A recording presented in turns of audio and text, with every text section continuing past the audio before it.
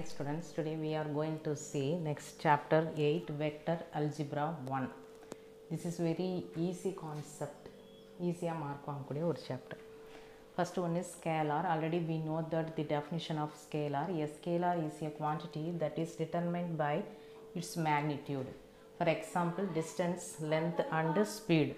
Next one is vector. A vector is a quantity that is determined by both its magnitude and its direction and hence it is a directed line segment for example force and velocity third one is initial point we see the figure a to b the vector is a vector here the tail point A is tail. Tail point A is called initial point. Next one is terminal point. The point capital B is called the terminal point of vector A vector.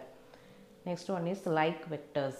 Two vectors are said to be like vectors if they have the same direction. We see the two vectors same direction. The arrow mark என்ன காமிக்குதுன்னு பாருங்க same direction A vector and B vector. Next one is unlike vectors. Two vectors are said to be unlike vectors if they have opposite direction. இப்போ C vector direction இந்த side இருக்கும் D வந்து ஆப்போசிட்டில் இருக்கும் note points. First one is AB vector equal to A vector, then BA vector is equal to minus A vector because of change of direction, opposite direction A to B.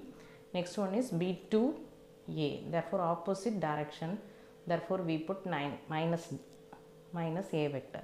Second one is AB vector, here we use one formula OB vector minus OA vector, O vector is the position vector.